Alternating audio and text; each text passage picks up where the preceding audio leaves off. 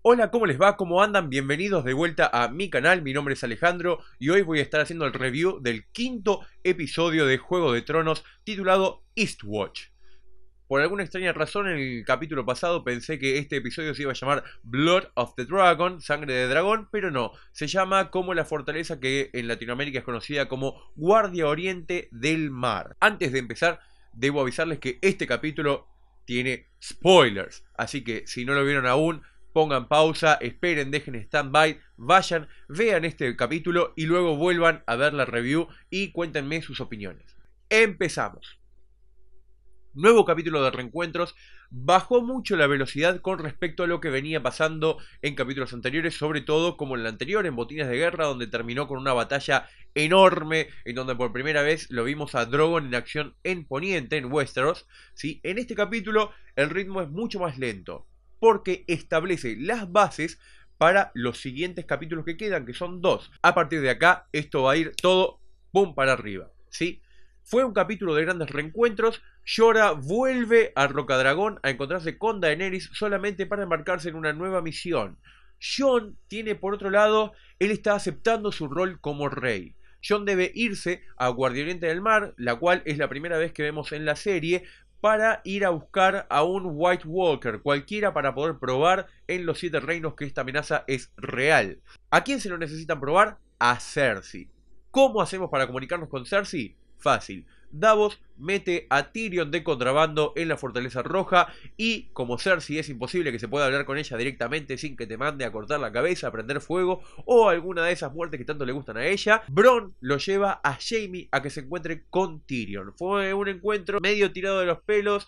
Este, recordemos que la última vez que se vieron, Jamie estaba ayudando a Tyrion a escapar porque lo iban a, a condenar a muerte. Había perdido el juicio por combate. Tyrion, aquella gloriosa pelea de la víbora y la montaña en la cuarta temporada, y Tyrion hace entrar en razón a Jamie y le pide que hable con Cersei. Cersei está preñada de vuelta, está embarazada, tirando por tierra la teoría que le habían dado a ella de chica, en donde le decían que ella iba a tener tres chicos y que los tres se le iban a morir. Está embarazada de un cuarto chico y accede al pedido de Jamie, viniendo de, de Tyrion, porque ella recapitula y dice, hay que pelear como lo haría nuestro padre. Él entendió que había que hacer una gran estrategia y ella es lo que está haciendo ahora. Ella acepta la tregua que le plantea Daenerys mientras hace tiempo a que Jon vaya a buscar un White Walker para demostrar que él habla en serio, para así conocer un poquito más la situación de Daenerys. En la cabeza de Daenerys, según Cersei, ella va ganando, así que no tiene por qué darles tregua. Sin embargo, es la misma Dani quien se los trae por medio de Tyrion. Está calentando la cosa, se está calentando el tablero de ajedrez, se están moviendo muchas piezas. En el norte, Arya y Sansa están teniendo sus primeros roces. Arya asiste a un consejo en el cual Sansa escuchaba cómo se quejaban de Jon, de cómo se estaba moviendo Jon. Arya la increpa luego a Sansa, le dice, escúchame una cosa, te quedaste ahí quieta mientras lo guardaban a Jon, que te que sos, vos en realidad te querés quedar con todo, bla bla bla bla bla bla. Y Sansa le dice, no. No, no, no, no, no, no, no. Vos no entendés nada. Sí. Acá lo que sucede es otra cosa. Acá lo que sucede es que estas personas necesitan quejarse, necesitan sacar sus problemas. Pero si yo los mando a decapitar, ¿qué pasó con Rob? El tipo mandó a decapitar a Lord Karstark por haberle desobedecido y perdió toda la casa Karstark.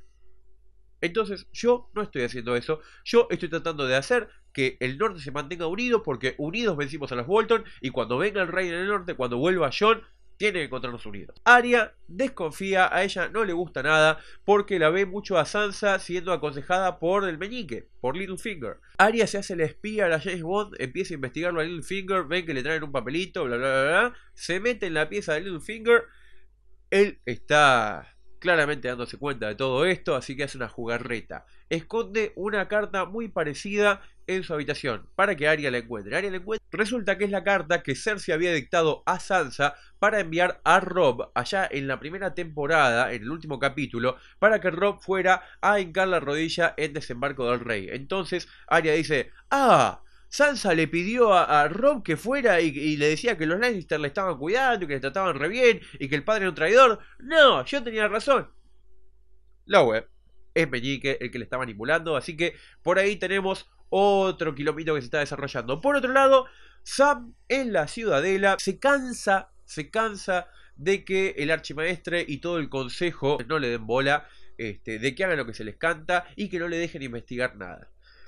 De casualidad, Gilly se encuentra con un documento de un maestre, que no me acuerdo en este momento el nombre, el cual el tipo agarraba y registraba todo. Registraba cuántos escalones había en la ciudadela, cuántas ventanas había en el gran septo de Baylor en King's Landing. El tipo anotaba cuántos soretes cagaba. Es increíble. Pero lo importante de esto es que el tipo también anotó una anulación de matrimonio entre Rhaegar Targaryen y Elia Martell y un nuevo matrimonio que claramente estamos hablando de Rhaegar y Lyanna. Por lo tanto, Jon no sería un bastardo, sería totalmente acreedor al apellido Targaryen. Y eso es lo que podemos ver también cuando vuelve Daenerys del campo del enfrentamiento del capítulo anterior. Y lo primero que sucede es que Drogon se le planta a Jon enfrente y Jon lo acaricia. Si esto le suena, ya pasó antes. Esto pasó en la sexta temporada, mientras Tyrion estaba guardando el trono para Daenerys que había sido que se le había llevado Drogon lejos y Tyrion logra acariciar y sacarle los grilletes a Regal y a Viserion. Tenemos las tres cabezas Targaryen acá, porque resulta que Tyrion al parecer puede ser producto, puede ser hijo de Aerys, el rey loco, este, producto de una violación sobre la mujer de Tywin. Así que con esto tendríamos las tres cabezas del dragón Targaryen. Tendríamos a Daenerys, que puede cabalgar sobre Drogon, y los otros dos dragones se los van a repartir entre Jon y entre Tyrion. Otro encuentro importante que se da en este capítulo es entre Davos y un viejo personaje que no lo vemos creo que desde la tercera temporada, que es Gendry, que se presenta con todo ante Jon, le dice que es un bastardo de Robert Baratheon y prácticamente es como volver a ver a Ned ahí nomás y a Robert peleando juntos. Gendry encima le gusta el martillo, clavó como si fueran dos clavitos a un par de capas doradas ahí cuando se iban de desembarco del rey, ¿sí? Y es fantástico. Gendry se suma a esta búsqueda de Jon por traer un caminante blanco, un White Walker, un otro de vuelta a Poniente para probar que lo que ellos dicen es verdad. ¿Quién se suma a este viaje? Como había dicho anteriormente, Ser Davos. ¿sí? Y cuando llegan a Guardia Oriente se entrevistan con Tormund. Pobre Tormund tenía esperanza de que traigan a Brienne, pero no va a ser esta vez.